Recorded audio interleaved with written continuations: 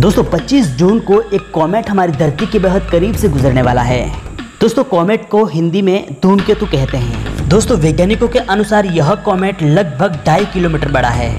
दोस्तों, वीडियो शुरू होने से पहले मैं आपको बता दूँ हमारा चैनल पर आपको स्पेस एंड एस्ट्रॉयड से रिलेटेड न्यूज़ मिलेगी।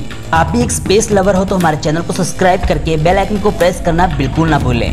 दोस्तों, हमारे एक सब्सक्राइबर्स ने कमेंट किया था कि यह खबर फेक है। तो उन्हें मैं बता देना चाहता हूँ। प्रैक्टिकली गूगल पर सर्च करके बता देते हैं। अगर इस कॉमेट एंके को आप गूगल पर सर्च करते हैं कॉमेट एंके लिख कर तो यहाँ पर आप देख सकते हैं किस तरह से आपके सामने रिज़ल्ट आएगा।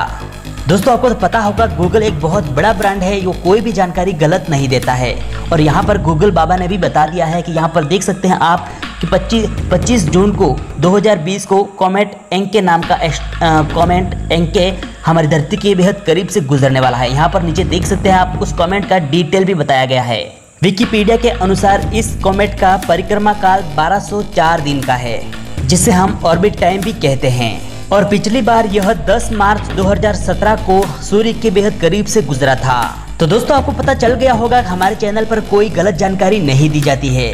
चलिए अब बात करते हैं उस कॉमेट के बारे में जो कल हमारी धरती के बेहद करीब से गुजरने वाला है। तो दोस्तों आपको बता दें कि इस धूमकेतु की खोज 17 जनवरी, सत्रह सौ छियासी में की गई थी। पिछली बार यह धूमकेतु 10 मार्च 2017 को सूर्य के करीब से गुजरा था और दोबारा से यह 25 जून 2020 को, यानी कल हमारी धरती के बेहद करीब से गुजरने वाला है। इस धूमकेतु का ऑर्बिट पीरियड 1204 दिन का है और इस धूमकेतु का डायमीटर ढाई किलोमीटर बड़ा बताया जा रहा है।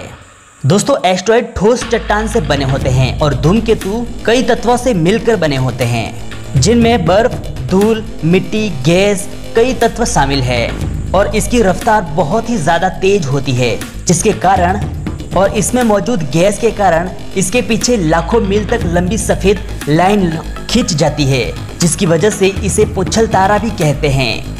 हमारे शोर मंडल में कई ऐसे धूमकेतु मौजूद हैं, जो नंगी आँखों से भी देखे जा सकते हैं।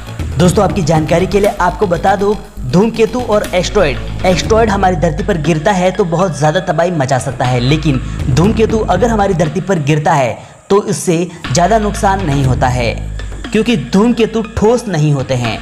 कल जो कॉमेट हमारी धरती के करीब से गुजरने वाला है, उसे किसी टेलीस्कोप की मदद से देखा जा सकता है। लेकिन आप निश्चिंत रहिए, इस धूमकेतु से हमारी धरती को कोई नुकसान नहीं होने वाला।